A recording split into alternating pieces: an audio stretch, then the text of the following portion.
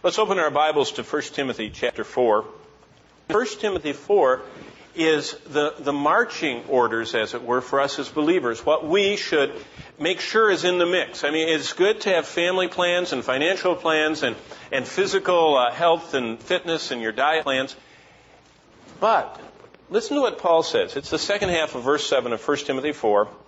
He said this After we reject the profane and old wise fables, exercise yourself toward godliness, or discipline yourself for the purpose of godliness. We are called of God to intentionally, volitionally, willfully choose to do things that will exercise and discipline and direct our lives toward godliness. Well, as you make your plans to, to focus on that, God has told us that we should discipline our lives and take up into our lives choices that lead to godliness. Now you say, which disciplines are you talking about? Should we discipline our money? We'll talk about that. And should we discipline our body? We'll talk about that. But the primary avenue of our discipline toward godliness we find to be getting time listening to God speak to us. And I call that the discipline of Scripture. Now, I'm going to go through a whole bunch of disciplines uh, in the days ahead, Lord willing. But I believe all of them are built on whether or not you and I are listening to God. Now, I'll start with my conclusion. So you turn right to the middle of your Bible and look at Psalm 16 with me for just a minute, please. If you're new with us, you just open your Bible in the middle. You'll probably hit something called Psalms and keep flipping in your Bible till you get to the 16th one because all of the disciplines of the spiritual life begin with listening to God. When I read the Bible, God is speaking to me. When I pray, I am responding back and speaking to God. So the primary emphasis of our godly life is I need to get God's input into my life. I need to get God directing and arranging and showing me what should go on in my life. And that's what the scriptures are all about. It's the mind of God. It's the will of God. It's the plan of God. It's the revelation of God. It's the voice of God. It is God speaking to me, feeding me, and directing my life. Now, let me share just one person's testimony, uh, King David, the last verse of chapter 16. Now we're going to read this through three times. I'm going to point out to it, I'm going to explain it, and then we're all going to read it together and pray that we'll live it. But look at Psalm 16 and verse 11.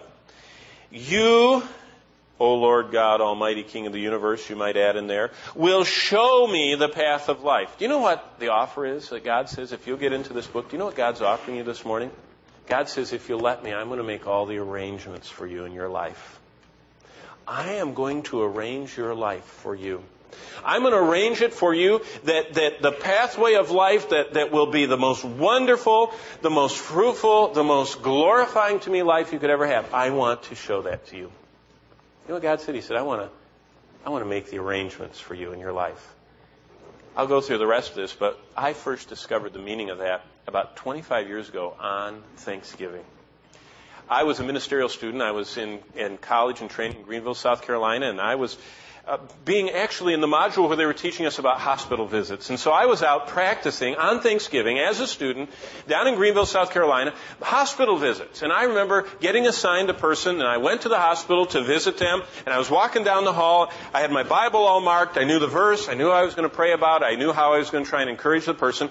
And I was steaming down the hall like you do in the hospital, healthy as you can be. And I was glancing in the rooms, just enjoying it. You know, everything, I wasn't, uh, you know, planning to be in the hospital anytime soon. I was just going to minister. And I glanced in one of the rooms. You know how you're just curious. And, and it was just, just for an instant, I, I looked in that room and I saw sitting up in the bed the most forlorn face I'd ever seen in my life. I mean, if he wasn't dead, he was near it. You know, he's just like that, sitting in that bed. And I didn't think anything of it. And I just kept going to my call. And I went right there and I read the Bible to the person and I prayed with them and they thanked me. And I started back, but on my heart, I had such a burden about that forlorn, destitute looking person all alone in that room. So I retraced my steps back down the hall and lightly knocked and walked in. And I said, You know, I don't even know who you are, but I saw you look so sad could I share some scripture? And they said, oh, sure. It was a man in there. And, and so I actually shared the same scripture and I prayed with him. learned his testimony, found out he was a believer, and he wasn't dying, he was just sick. And um, my heart went out to him. He looked so sad. And I said, It's Thanksgiving, and you're all alone. Is there anything I could do for you? Now remember, I was a poor seminary student. I shouldn't have asked that. And this guy looked at me and he said, Yes. He said, They're starving me to death in this hospital. He said, Would you get me one of those Wendy's triples? Do you know those cost $1.79? I only had $2. And I spent both of my dollars and it took me a whole hour. I went down to Wendy's and got one of those triples. And then I felt so bad. I thought, what if the guy's diabetic or dying of something, you know, because I was sneaking in the hospital under my coat. This bag with this, this triple, uh, decker Wendy thing. And I walked in and I gave it to him and he looked at me and he said, thank you. He said, you'll never know what that means to me. He said that you just helped me. He said, You've never seen me before. You don't know me. You don't know anything about me. You just helped me. He said, Thank you. He said, Could I just have your name and address? He said, I'd like to send you a little thank you. I thought, sure, you know, this is kind of fun, hospital visitation. So I gave him my address and phone number and everything, and I went home. Two weeks later, I got a call from this man. He was out of the hospital. He said, Would you mind if I stopped by and took you out to dinner tonight? Well, again, I was going to have post toasties. And I thought anything is better than that. And so I said, Yes. And at six something that night, a great big long limousine pulled up in front of my little tiny one room place where I was staying as a seminary student. And the driver got out, and I was escorted to a restaurant in that town. And there sat my friend, all well and quite dressed up. And we had a private cook at our table, and we had the most, there were no prices on the menu, I noted. It's one of the fanciest places I've ever been. And at the table, this Christian man shared with me that he was an orphan adopted by a Texas oil family and the sole heir of their empire. And he says, only people that ever cared about me were the ones that wanted my money. And he said, you stopped, and I was in this town, and I was in that hospital, and you stopped to visit me for no reason except the love of Christ. He said, so I wanted to, to honor you with this meal. So we, I thought it was great. I hadn't seen a steak that thick in my life, and I just ate and enjoyed and everything. And he said, I just have a question. He said, would you ever want to go with some of my friends on a little trip? I said, What do you mean? He says, I'll make all the arrangements. Do you just want to come? I said, Well, I'm in school. He said, I know you're in school. He said, After school, do you want to go with me? I said, Well, I can't. Aff-. And he said, Afford? He said, I'll make all the arrangements. Let me do it. He said, Do you want to come? I said, Yeah, I do. I'll go. Seven months later, in May, when school got out, I got my packet. Now, some of you wonder how someone said, How could you have been to all those places? Now you're learning one of my secrets. Go on hospital visitation, you'll find out. I got a packet. I had tickets. I had everything. I met him in London. We were chauffeured. We went to restaurants. Have you ever been to a restaurant where the fish are in a tank next to you? These are saltwater tanks, and you point at the fish you want, they spear it cook it. Boy, you talk about fresh. I mean, it was brought to us. And then we would go from there to the plays and the theaters. And when we got done with London and, and all the stuff in the British Isles, we went to, to Holland and did the same thing. Then we went to France. We went to every, I mean, everything. I'd never, we ate in one restaurant. We had, we, it was a 20 course meal and there were, they brought little French things to cook all the way around the table. We had waiters and they were bringing, and they never stopped. And that was just, then we went to Switzerland. That same thing. Then we went to all the art galleries in Germany. Then we ended in Italy. Wow. I always remember what he said. I'll make all the arrangements. You know, look back at Psalm 16 with me because I want to read it with you. Because I'm not talking about my friend Carl. I mean, uh, the point of the story I just shared with you is that Carl made all the arrangements. But I'd never been to the places he took me. He had. He arranged everything. We were picked up. We were chauffeured to sites. We went to museums and restaurants and plays. It was an unbelievable experience of the world the way the rich and famous travel. But more than that, it was a lesson for me that someone with greater resources and experience and knowledge can do a better job at arranging events than I ever could.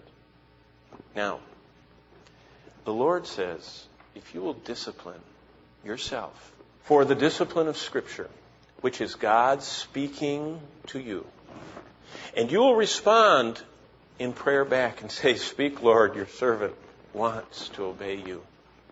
This is the life that he offers us in Psalm 16 and verse 11. He said, If you will listen to me, speak to you through my word, then you can rest in my arrangements for your life. That's what he says. You will show me the path of life.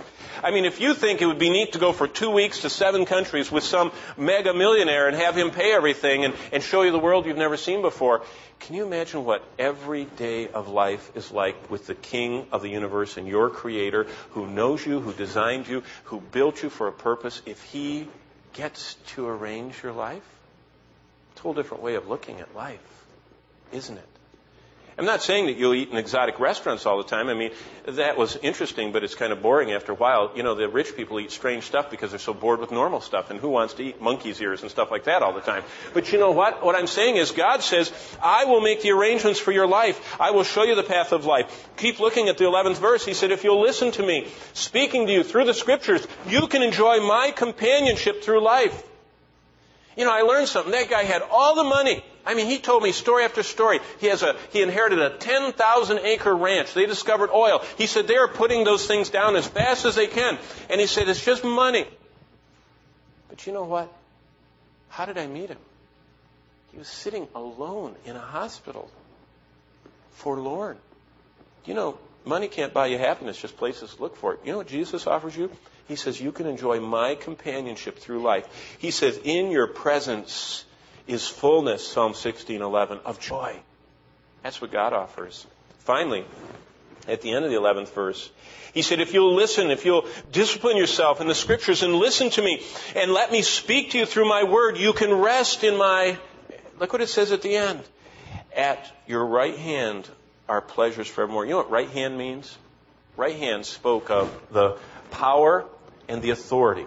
And so at the right hand of the Father means that Jesus is with the power and the authority of the Father. And, and always the Son of my right hand is the Son that has my empowerment and my authority. You know what God says in the 11th verse here?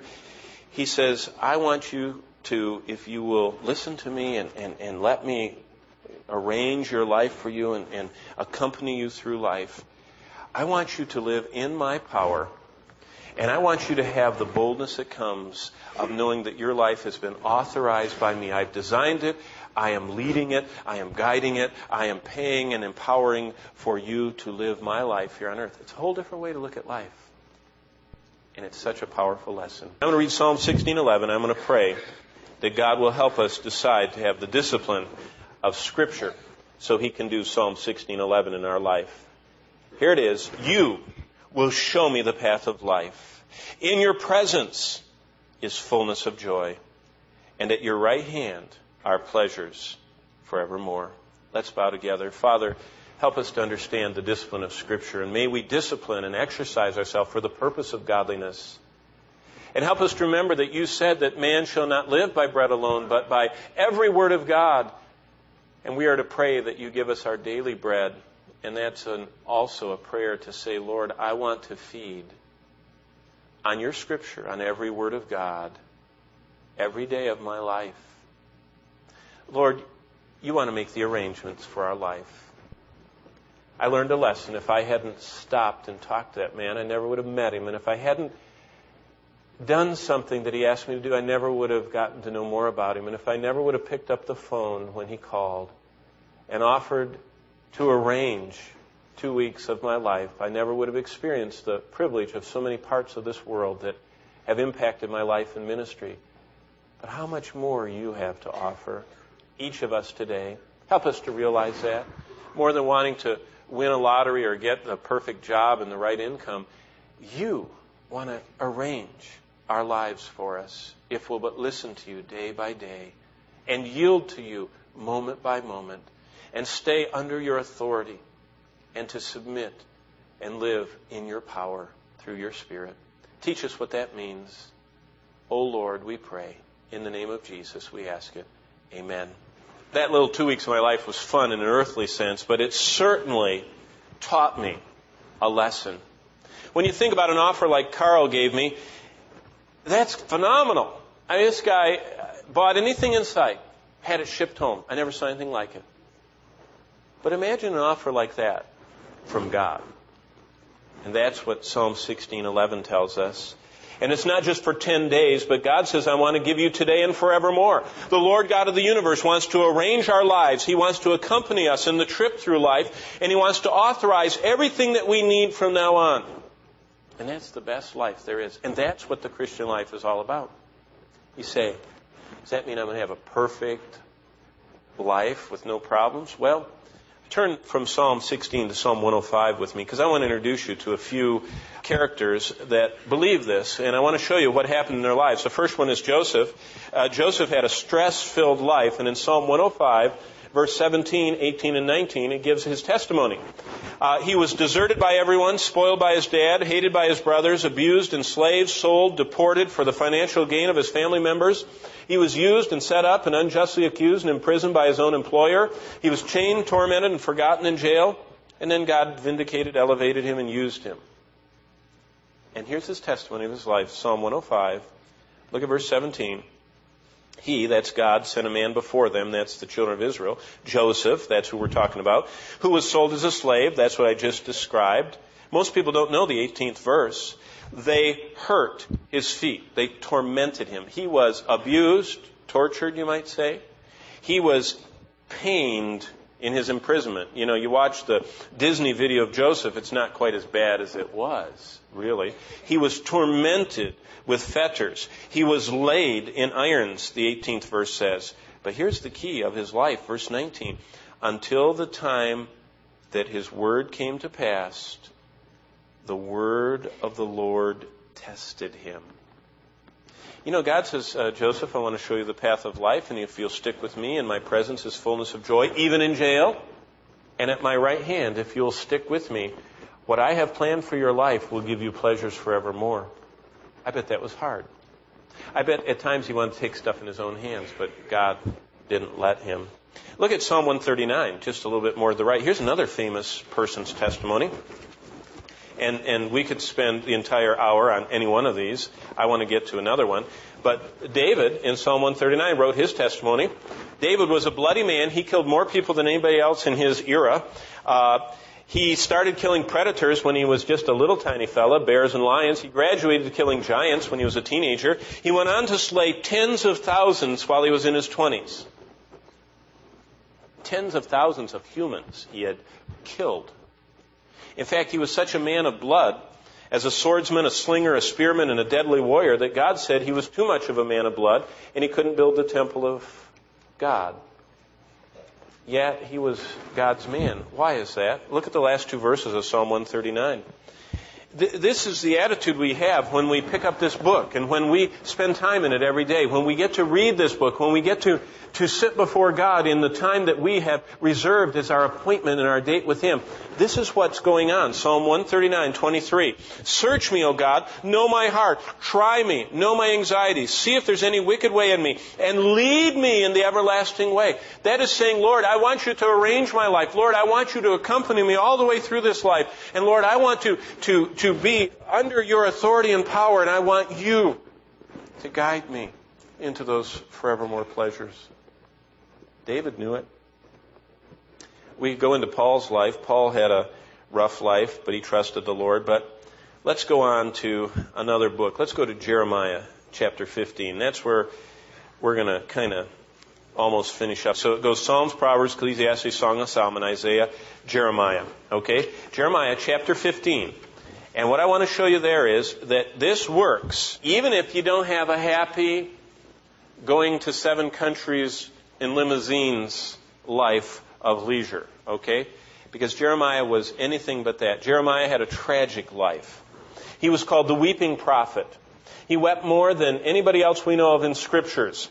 He was the, one of the neediest biblical figures. He was the weeping prophet not only because he had compassion, but most of all because he had such a tragic life. And, and, if you've never studied the book of Jeremiah, before we get to chapter 15, if you flipped through this book, and I would encourage you to do it, Jeremiah's woes recorded in the scripture are unimaginable. Uh, we have such peaceful lives. He had a completely upturned, tragic, desperate life. He lived through the, the death throes of the final generation of the nation of Judah. In, in chapter 11, we find out that from an earthly perspective, Jeremiah's life was an absolute failure. During his lifetime, he watched God's people decay. They were horribly destroyed. They were deported to the nation of Babylon, and that is after he preached for 40 years. In chapter 11, uh, from 19 to 23, he didn't have a single respondent. He didn't have a single person that, that was visibly, outwardly changed through his ministry. Not one that he could point to after 40 years. No visible results among those he served. Instead, his countrymen that he warned for God's sake sought to kill him if he wouldn't stop preaching to them he had no one in chapter 12 to find joy and comfort in as his own family and friends were involved in plots against him. In chapter 16, God says you're never going to have the joy of a godly home because you may not get married. And he had agonizing loneliness his whole life. He saw everybody else. He was from a priestly family. In fact, did you know who his dad was? Hilkiah the priest that found the scroll that was hidden during the reforms of Josiah. They cleaned the temple out when they were shoveling out all the debris and all the idols and everything else. Down in a box, they found the hidden scroll.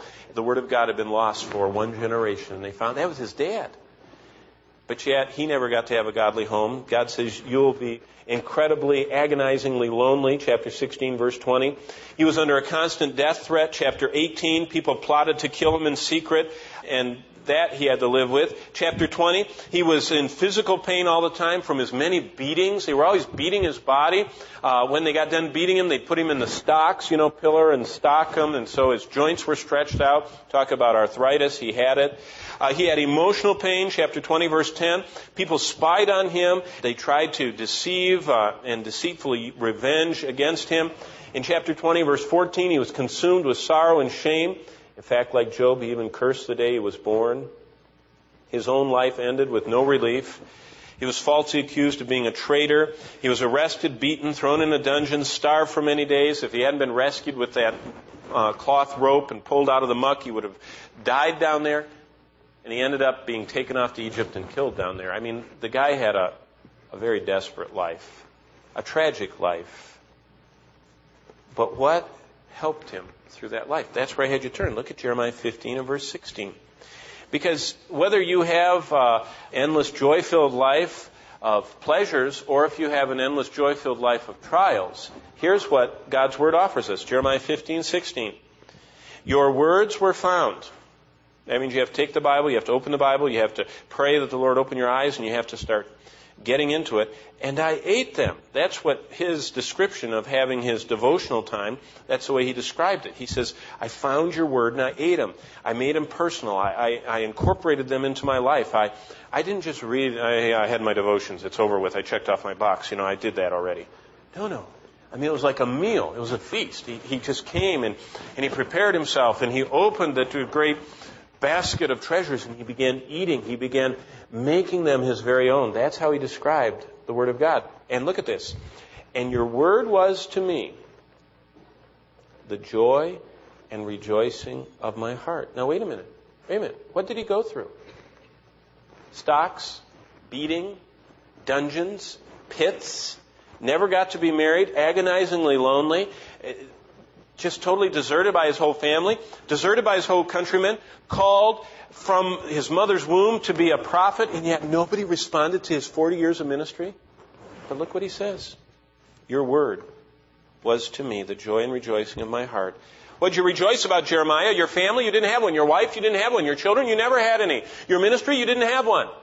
What'd you rejoice on? Look at the end of verse 16. This is what I rejoice in. I am called by your name, O Lord God of hosts. You know, Jeremiah lived after David, and Jeremiah knew the Word of God very well. And I'm sure that Jeremiah had taken that Psalm 16:11 promise and said, "Lord, you'll show me the path of life. You're going to make the arrangements for my life." And God arranged for him to be in Hilkiah's family. He arranged for him to grow up in the family that found the Word of God. And he, he probably was, was uh, hearing his dad come tromping, yelling home, carrying that scroll, saying, I found the book. And I'm sure he was thrilled as his dad started reading to him from the Word of God. And God said, If you'll stay in my presence, I'll give you fullness of joy. And that's what he testifies. Well, to make a long story short, how can we do that? How can we Uh, find God's word and eat it and have it to be the joy and rejoicing of our heart. Let me suggest this. you need to make a plan or you need to recommit to a plan to spending time in this book every day. Every word of God is pure. Man shall not live by bread alone, but by every word. And you and I need to never be beyond the inconveniencing of ourselves to be with God.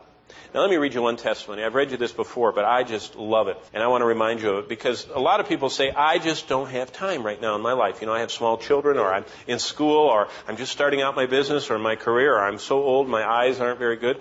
You know, whatever, you know, everybody has an excuse and I just don't have time. Let me share with you one man whose life has touched mine. He was the most decorated uh, general of the Korean War, Lieutenant General William K. Harrison he and I could read his pedigree. I mean, this guy won the Distinguished Silver Cross, the Congressional Medal of Honor, uh, the Silver Star, the Bronze Star for Valor, and the Purple Heart. He was one of the only generals ever wounded in action. Uh, I mean, he was at the head of the charge. He was an amazing guy. Do you know what this man did when he was 20 years old and in military training? He was challenged, as I'm challenging you, to make time for God. And before he was commissioned as an officer, he promised the Lord that he would give him for the rest of his life one half hour. Now think of what you get in a half hour 50 commercials on TV. no, not really. Um, you know, a half of a television show or one fourth of a movie. Just think what a half hour is. You know, one local newscast, uh, surfing the, the internet for tidbits of, you know, inane stuff. I mean, what can you do with a half hour? That's, that's not very much unless you give it to God. You know what he did with his? He found out, and listen to his testimony. He says, it only takes 80 hours to read the whole Bible. And so the program I commence in military school is, I will give God a half hour of reading His Word every day for the rest of my life. What did that gain him? He found out that in a half hour a day, he could read the Old Testament through once a year and the New Testament through four times a year. So four New Testaments and one Old Testament. He got through the Word of God. Four times new, one old. For 70 years, he did this till he was 90. When he was a 90 year old man, he was still reading the Old Testament through once a year and the New Testament through four times a year. Did you know as his eyesight was failing at age 90, he'd read the Old Testament 70 times and he'd read the New Testament 280 times? Do you know what that means? He had most of it memorized because he'd read it so many times. This man was such an example. We need to realize that we can most listen to God by reading His Word. This is the voice of God, and we must listen. It's, a, it's an amazing thing that a Christian can imagine that they could live a Christian life without regularly reading their Bible. That's impossible. Our minds are such that we don't retain what we need to know. We need to be refreshed again and again. And there are some who have been believers for years who've never even read the Bible once. And that means for them there are truths of God that they have never inconvenienced themselves enough to discover. No wonder people are so confused. No wonder that they never know that God is arranging their life. They didn't even know that verse was in there. And they didn't know that if they stood in His presence all the time, that they would have fullness of joy. And they didn't know that, that they yielded to His authority and allowed Him to empower their lives, they would have forever more pleasures. They thought they were in charge of that, and they were not doing a good job of it. God says, expose yourself to my word. You know what a great commitment would be? That you cut something out of your life to fit a half hour for God in. And in that half hour, maybe you want to be a General Harrison. You want to read the New Testament four times a year and the Old once. Or maybe you just want to spend half of it reading the Bible all the way through and memorize and meditate the other half of your half hour. But something. Why? Because, and, and here's the last verse I want you to underline. Look at Psalm 119. This is the attitude that will give us this discipline of the Scriptures. Psalm 119, and starting in verse 97. Longest chapter in the Bible talking about the wonders of God's Word, but Psalm 119, 97 tells us the attitude that we must have in our life if we are going to have this discipline of Scripture. And this is what the psalmist says. Oh, verse 97, Oh, how I love your law. I love it so much I meditate on it all day long. And so your commands make me wiser than my enemies, and they're ever with me. I have more insight than all my teachers. I meditate on your statutes. I have more understanding than the elders. I obey your precepts. Do you see the heartbeat of the man of God? Do you see the heartbeat of the servant of God? Do you see the heartbeat of those who take God up and say, I want to discipline myself for godliness. I love your law so much that I want to, to know you well enough so that I can follow the arrangements you've made. You know, I've always thought, many times, I thought, what if when I was steaming along in the hospital and I saw that guy and I felt in my heart I needed to minister to him, what if I'd have said, Are you kidding? I've already made one call. I don't need to do another. You know what? I would have had a happy, wonderful life. I just would have missed a great blessing of God in my life. And what if when I talked to that fellow as he laid in bed and got done with the scripture and he said, Could you help me? If I said, No, I'm too busy or I'm too poor. I only have two dollars and you're certainly not going to get both of them. You know, what if I'd have said that? Just think what I would have missed. And what about if I hadn't answered the phone when he called my house and asked me out to dinner? And what about at dinner if, if he'd have said, You want to go on the trip? And I said, No, I don't want to go on the trip. Just think what I would have missed. That's all nothing compared to if you miss God saying, I want to show you the path of life. I want to make the arrangements for your life. I want to teach you how to stay in my presence all the time, even when you're in a dungeon in a pit like Jeremiah. I want to give you fullness of joy through your pain and suffering and trials. And what if we never take the time to know what God wants us to do so we don't stay at His right hand? Then we won't enjoy pleasures forevermore. I would encourage you make plans to make the discipline of Scripture in your life. Meet with God every day. Set aside a half hour and say, God, speak to me. Show me your arrangements for my life. Help me know your presence. Help me to yield to your authority and stay at your right hand forevermore. And I'll tell you what, you will live a life that is unbelievable. Because you live the life that God designed you to live with Him arranging it for you. Let's bow together and ask Him to help us to decide this morning we're going to have the discipline of Scripture in our lives. Father in heaven, I thank you for Jeremiah's life. If Jeremiah could have joy eating your word in the dungeons and pillars and stocks and in all the danger he was in and adversity and abuse and loneliness and without wife or children, I pray that we would learn that you're the same God. Your grace is sufficient for us. That you want to show us the pathway of life. You want us to know your presence so we have fullness of joy. And you want us to stay at your right hand of authority and power forevermore. I pray that we would make decisions to that end for the days that you have for us ahead. In the name of Jesus, we pray. Amen.